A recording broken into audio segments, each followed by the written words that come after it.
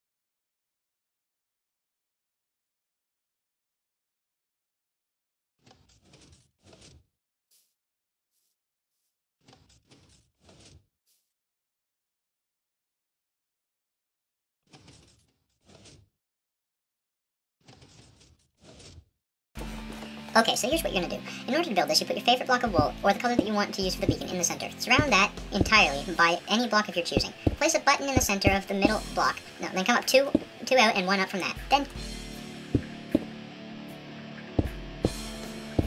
then off of that, make an L shape coming out with one block raised above it. Add a torch onto that. After that, you want to make an L shape that connects both lines that you have previously installed. On these, you want to put repeaters.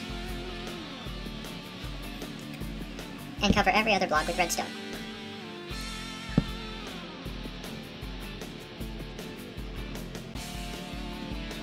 You want the blocks that are right beside the 3x3 thing containing a piece of wool to be half slabs. This is so the signal can go up from the bottom layer, but not down from the top layer.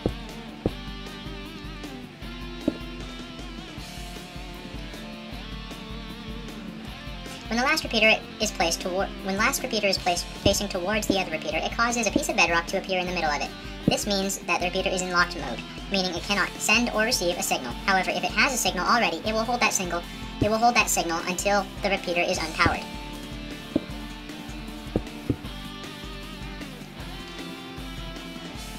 These next few these next few blocks will connect the button to the piston that will control the beacon.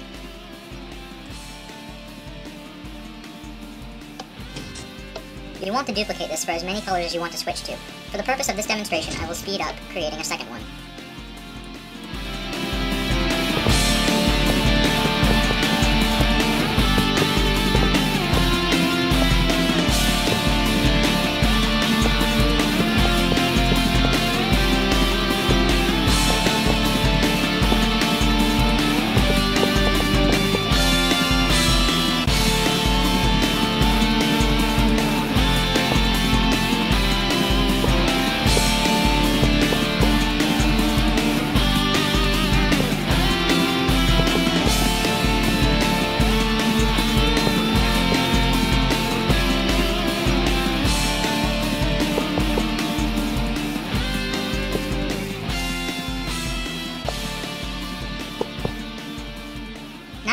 Can see that only one piston could be raised at a time.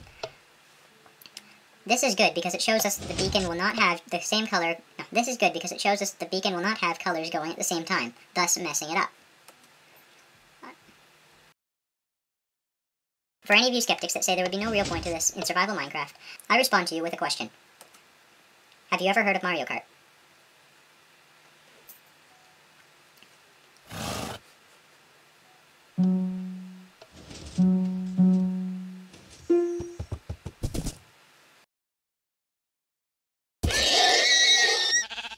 Enti this is an overview of the entire build. As you can see, we have almost every color in the game built in here. Um, it's the exact same thing that I showed you over there, only duplicated on a mass scale, and I had to put these things in here. These are called um, two-way repeaters because they are able to send a signal back and forth, whereas a single repeater would only be able to send it one direction. This is good for the machine because it has to be able to send a signal of all parts of the machine. This is good for the machine because it has to be able to send a signal to the entire uh, to the entire system of pistons in order to let it know to turn everything off except for the one you wish to be powered. Anyway, guys, thank you for watching. As always, like, comment, and subscribe. And if you want a tutorial of the Mario, if you want a tutorial of the Mario Kart stop sign, let me let me know, and you will let me know, and you'll be getting that within the next week. Thank you. Have a great day. Bye.